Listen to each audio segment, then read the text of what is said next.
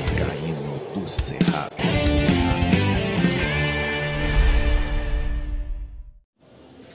Fala galera vascaína, eu sou o Thiago Fontes, falo direto de Brasília, Distrito Federal, trazendo mais um vídeo para o canal. Vamos atualizar informações sobre o Vasco nessa sexta-feira. Antes, vou pedir aquela moral, deixa o joinha, se inscreve, Deixe o like aí, o comentário, que isso ajuda o canal a ser impulsionado no YouTube, beleza? Quero falar da minha parceira, o XBET, é patrocinadora do canal Vascaíno Encerrado. Hoje tem Série B, o Curitiba, que dificilmente perde em casa, pega o Mirassol, que dificilmente vence fora de casa. Estão pagando 2,4 na vitória do Curitiba, 3,8 no empate, 3,99 na vitória do Mirassol. É buscar gol do Curitiba, vitória ou empate do Curitiba para uma múltipla ou a vitória seca no ao vivo se você estiver acompanhando. O link fica no primeiro comentário fixado, clicou, vai abrir a janelinha, o código promocional para fazer o cadastro é do Cerrado, tudo junto, maiúsculo.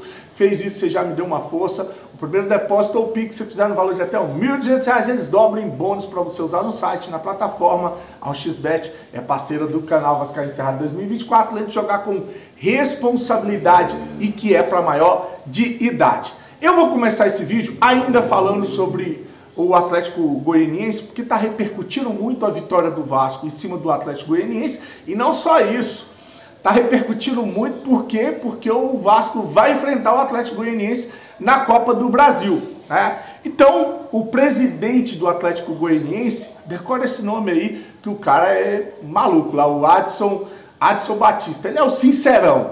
Tem um vídeo dele aí detonando categorias de base, que não se faz jogador igual antigamente, é um mimimi do caramba, jogador que antes treinava, é, você tinha uma, uma leva de jogadores para a seleção brasileira que vinha de um passado de jogar em campo de barro, agora é um monte de menininho que joga em campo de sintético, não tem mais a safra que tinha antigamente, e ele já detonou várias vezes, tem outros vídeos dele viral aí na internet, detonando muita coisa relacionada a futebol.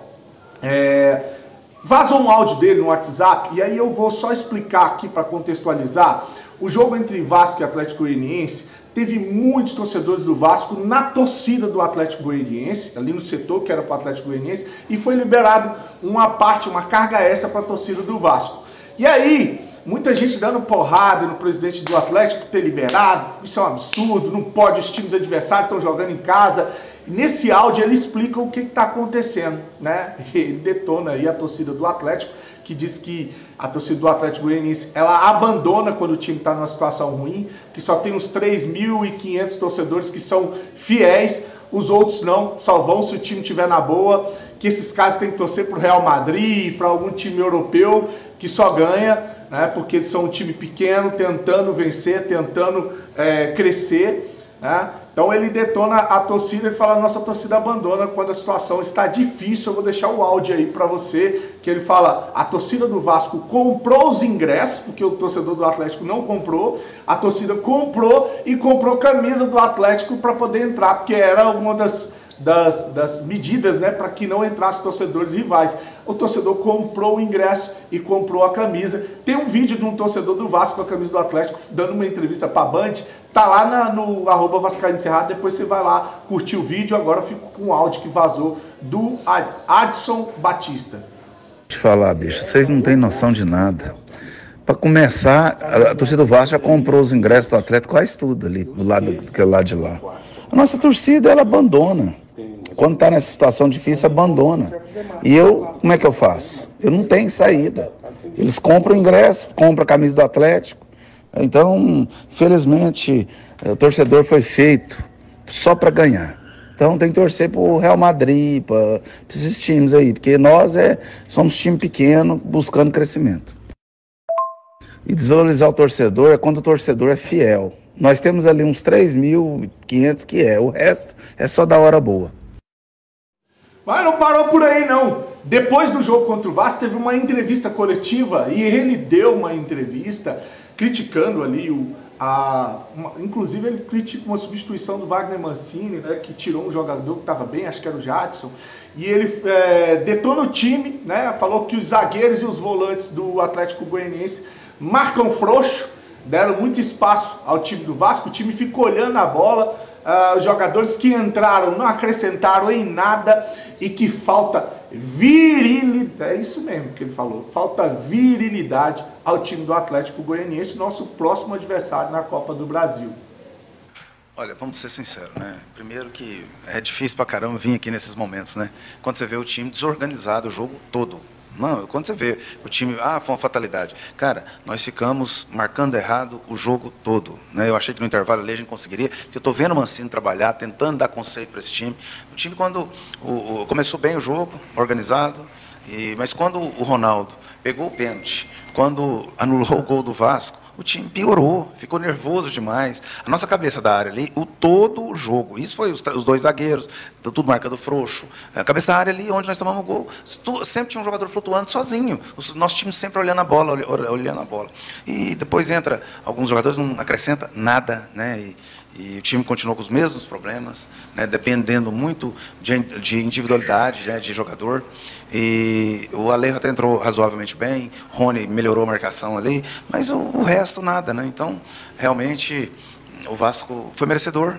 O Vasco compete pra caramba. Você vê, ah, é um time comum, mas compete muito, né? E a gente marca muito com os olhos, marca frouxo, falta virilidade. Isso foi o jogo todo. Foi sofrido porque nós não conseguimos ter o encaixe que precisava durante o jogo. Bom, vamos voltar agora para o Vasco e o Campeonato Brasileiro. Depois de amanhã a gente encara o Atlético Mineiro, o Galo de Minas Gerais, com os, os reforços que chegaram lá, o tal do Júnior Alonso, o Baixolinha lá, o Bernard que vai fazer aquele trio ofensivo com o Paulinho e o Hulk. A gente vai ter um teste de fogo contra o Atlético Mineiro, time que empatou aqui em Brasília contra o Criciúma, foi contra o Criciúma, Juventude. Mas teve muitas oportunidades de gol, só de bola na trave foram umas três, um monte de chances perdidas, desperdiçadas. Então vai ser um teste de fogo para o Vasco que vem de quatro vitórias seguidas. Você lembra quando é que o Vasco teve cinco vitórias seguidas no Campeonato Brasileiro? Cara, foi em 1997. Nem o timão do Vasco de 99 e 2000 conseguiu cinco vitórias seguidas no Campeonato Brasileiro. Esse, esse técnico interino do Vasco, Rafael Paiva, junto com esse elenco que a gente criticou tanto, limitadíssimo, pode bater um recorde aí que o Vasco não consegue há, há quase 30 anos cinco vitórias seguidas no campeonato é, brasileiro, né? É, e ele já bateu, já quebrou, estão é, chamando ele de exterminador de tabus. 12 anos, 14 anos que não venceu o Corinthians, é, 12 anos que desde 2012 que não é 12 anos, né, que não ganhava quatro seguida, ganhou de São Paulo, acho que tinha 4, 5 anos que não ganhava de São Paulo, enfim, o cara tá destruindo tabus.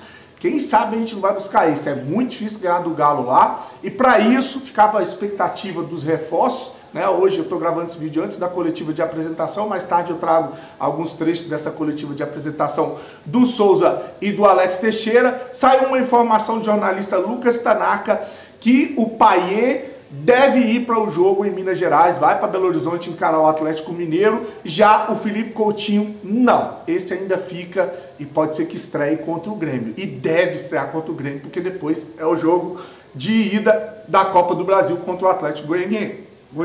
Né? Então, tá aí a informação. Paê viaja para jogar com o Vasco contra o Atlético Mineiro e o Felipe Coutinho não, não viaja, não joga uh, contra o Atlético Mineiro. É a informação dada pelo jornalista Lucas Tanaka. Vamos ver se ela vai se confirmar. Para finalizar o vídeo, vou trazer aqui um vídeo que viralizou depois ali o Verrete comemorando com os amigos ou, ou falando ali no vestiário com os jogadores.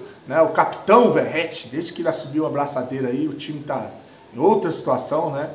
E ele está ali discussando, falando, ó, ainda não ganhamos nada, temos que ir para frente, todos juntos e ele começa a dar uns tapas no peito do Rossi e a cara do Rossi é muito engraçada e acabou que o vídeo viralizou nas redes sociais, na internet. Vou deixar aí para finalizar. Depois que você ver esse vídeo, vou pedir encarecidamente para você ir lá no Instagram, arroba Vascaíno Cerrado, me seguir no Instagram, tenho poucos seguidores lá no Instagram e ver o vídeo lá do Vascaíno com a camisa do Atlético Goianiense, curtindo lá o jogo, tá nos stories, tá bom? Grande abraço, curte, se inscreve com Deus, saudações vascaínas. Ainda não consigo nada. Nós temos que ir para frente todos juntos. Todos juntos.